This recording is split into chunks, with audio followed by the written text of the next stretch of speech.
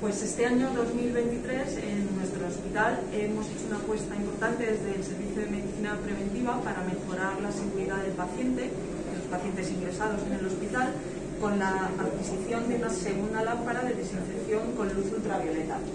Es importante destacar que esta lámpara la maneja el personal auxiliar de enfermería, en este caso eh, en la unidad de hospitalización de los pacientes.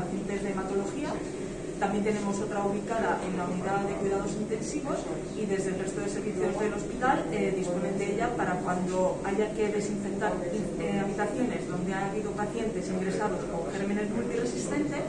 y en este caso con los pacientes de hematología que van a trasplantes de médula para que la habitación esté en unas condiciones óptimas en su ingreso.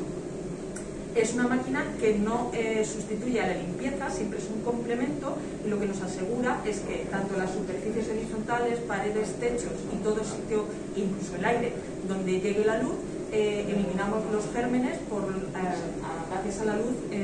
ultravioleta.